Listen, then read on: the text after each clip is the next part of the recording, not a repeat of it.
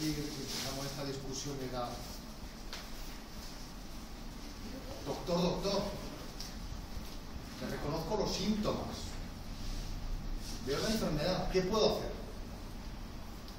Después de una hora de discusión, me siento como el fumador que lleva 20 años fumando, me está diciendo, ¿sí? ¿Tienes los síntomas? Sí, tienes que dejar de fumar. Sí, al final lo que tienes que hacer es dejar de fumar. ¿Me puedes ayudar? Hombre, pues coger parches, pero no van bien a todos. ¿eh? Además pruebas este parche si no coges el otro parche. Pero al final, chico, el problema es tuyo. Y yo creo que está un poquito frustrado porque en un principio me estás diciendo, si estoy, soy obeso, lo que me estáis diciendo aquí es, oye, mira, cambia de filtro, pero invierte en el tiempo de hacerlo. No te fíes en lo que te da Google, no te fíes en esto. Y no sé, si te llevo un poco Claro, es duro, o sea, sintetizado en una frase es lee menos y lee mejor. Y esto es durísimo, claro, yo soy consciente, pero es que en esa batalla creo que estamos todos, ¿no? El leer mejor como poco. Y yo, particularmente, leer menos. Vale, pongámoslo diferentemente.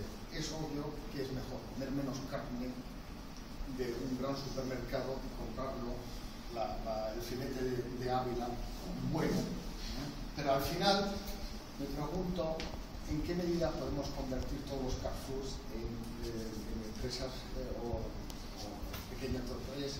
¿Cuánto es la resistencia que tenemos cada uno de nosotros dentro para sobrellevar y cambiar este cambio que nos estáis pidiendo? Esa es la frustración que me llevo y no sé si, si me he llevado algún elemento que sea, dice, hombre, aparte de los saludables, sí, esa es mi frustración. Pero es, haz, haz una...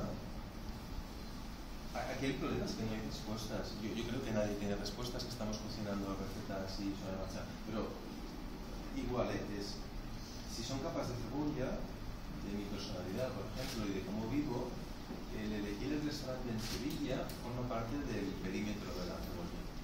Yo aquí puedo permitirme muchísimas licencias, de hecho todas. Si la, me equivoco en el restaurante que se va se comería igual.